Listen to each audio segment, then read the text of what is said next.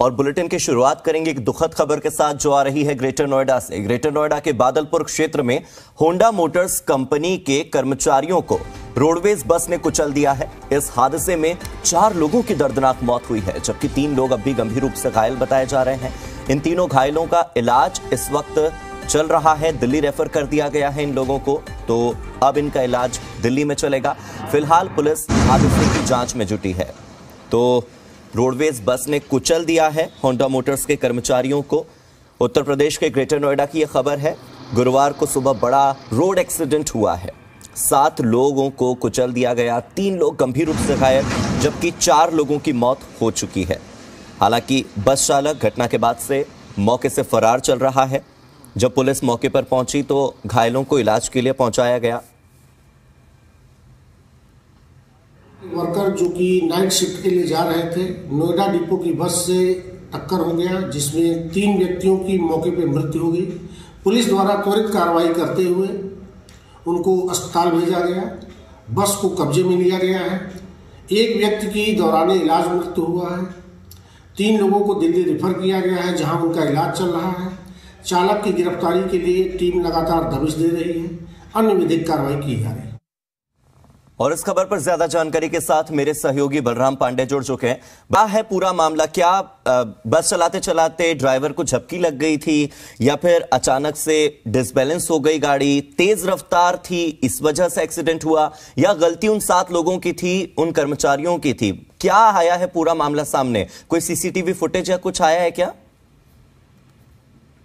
देखिए हार्दिक इस पूरे मामले की जाँच नोएडा पुलिस कर रही है और पुलिस का कहना है कि जो चालक है उसकी गिरफ्तारी के लिए टीमें लगाई गई हैं और उम्मीद जताई जा रही है कि जल्द ही उसे गिरफ़्तार कर लिया जाएगा हम्म। हालाँकि अगर हम पूरे मामले की बात करें तो जो होंडा कर्मचारी हैं वो छुट्टी होने के बाद अपने घर के लिए जा रहे थे उसी दौरान एक उत्तर प्रदेश की रोड पे बस काफ़ी रफ्तार से आती हुई नज़र आई और उसने सात लोगों को टक्कर मारी जिसमें सभी गंभीर रूप से घायल हो गए थे। तीन की मौके पर ही मौत हो गई थी। चार लोगों को अस्पताल लाया गया जहाँ उपचार के दौरान एक व्यक्ति की और मौत हो गई। हालाँकि जब घायलों की हालत गंभीर देखी गई तो उन्हें दिल्ली रेफर किया गया है।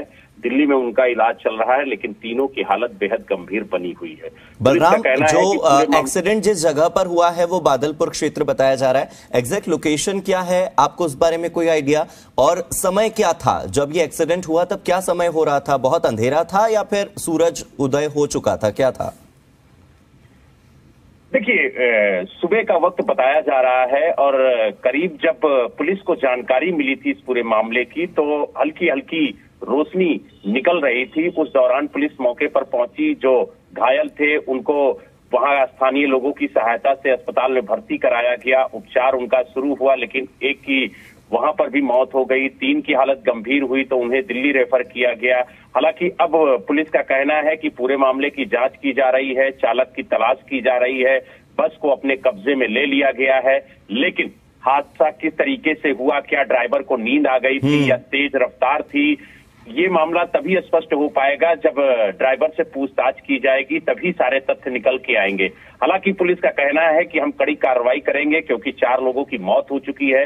तीन लोग अभी भी ज़िंदगी और मौत से जूझ रहे हैं तो ऐसे में घटना बेहद दर्दनाक है लेकिन देखने वाली बात यह होगी कि चालक जब गिरफ़्तार होता है तो क्या कुछ निकल के आता है हाँ। क्योंकि अधिकांश ये देखा जाता है हार्दिक की जब भी कोई कार्रवाई पुलिस करती है तो चालक यही कहता है कि ब्रेक नहीं लगा इस वजह से ये हम्म। हादसा हो गया। हम्म। लेकिन इस पूरे मामले में क्या कुछ निकल के आता है इस पर भी हमारी नज़र रहेगी। और जैसे ही अपडेट होगा हम अपने दर्शकों को बताएँगे कि आखिरकार हादसे की वजह क्या रही है। बलराम आसपास कोई प्रत्यक्षदर्शी मौजूद रहे? एरिया कैसा है वो जहाँ पर एक्सीडेंट हुआ है? बहुत ज़्यादा ऐसा पिछड़ा इलाका है जहाँ पर कोई आता जाता नहीं है या फिर ग्रेटर नोएडा का वो डेवलप्ड एरिया है जहाँ पर अक्सर लोगों का आना जाना होता रहता है? अगर ऐसा एरिया होगा तो निश्चित तौर पर सीसीटीवी फुटेज भी जल्दी सामने आ जाएँगे और प्रत्यक्षदर्शी भी देखिए पुलिस पूरे मामले की इन्वेस्टिगेशन कर रही है आसपास के इलाकों में ये भी चेक कर रही है कि कहीं कोई सीसीटीवी कैमरा तो नहीं लगा था जिसकी हम्म। वजह से कुछ तस्वीरें उसको मिल सके जिससे ये पता चल सके कि आखिरकार हादसा जो है वो किस तरीके से हुआ था। यानी अभी ये मामला पूरा प्राथमिक तौर पर देखा जा रहा है बहुत ही नया नया सा मामला है इसलिए बहुत सारे खुलासे बहुत सारे सवालों के जवाब अभी मिलने बाकी है। निश्चित ही हम आपसे फिर एक बार जुड़ेंगे जब आपके पास कोई अपडेट होगी और इस मामले में कोई नया पहलू जुड़ेगा। बहुत बहुत शुक्रिया।